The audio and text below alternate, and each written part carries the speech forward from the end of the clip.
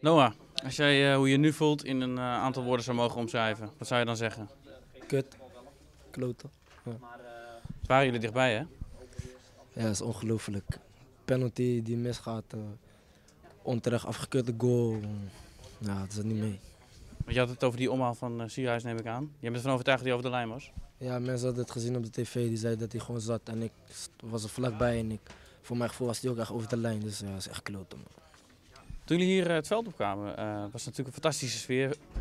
He- ontzettend veel supporters, harde kern is erbij, vuurwerk en alles. Dat moet hartstikke mooi zijn. Ja, ze zijn echt dankbaar. Ze waren echt de twaalfde man. Gewoon het gevoel alsof je met een extra man speelt. Ze waren echt top. Echt, echt complimenten aan hen. En die, ver- die wedstrijd vordert een beetje en het is op zich wel spannend. Het gaat allebei de kanten op.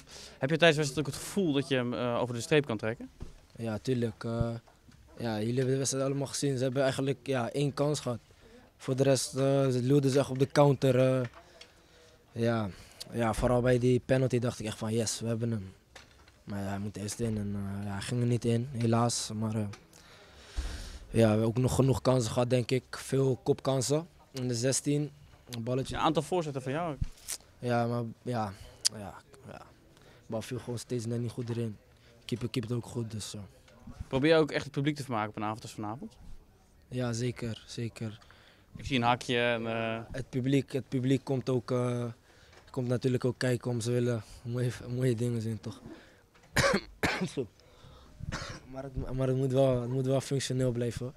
Maar eh, ja, ja, als het functioneel blijft is het goed en ik denk dat ik het functioneel heb laten blijven. Dus. Jij gaat eh, heel veel om met Justin Kluivert. Weten natuurlijk de meeste mensen, geen geheim.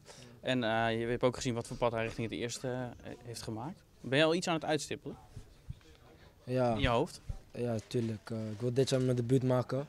Zoals, ja, dat is gewoon mijn doel voor dit jaar. maar ja, dag per dag, elke dag moet ik me weer laten zien. Elke training, elke seconde moet ik me bewijzen en laten zien dat ik er klaar voor ben. En dat ik het wil en dat ik het kan. En, ja, ik denk dat ik wel de stijgende lijn zeg maar, te pakken heb. Eh, ja, ik moet gewoon mijn ding blijven doen, zodat ze niet meer om me heen kunnen. En eh, ja, ja, dan zien we het wel. Hè.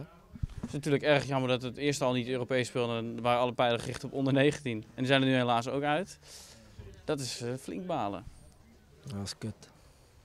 Ja, kut gewoon. Meer kunnen we er niet van maken. Nee, ik- ja, het is ook ongelooflijk. Echt knullige manier weer, net als vorig jaar. Maar ja, ja het is nu anders. En tijdens de wedstrijd eh, mist Sierhuis dus die penalty.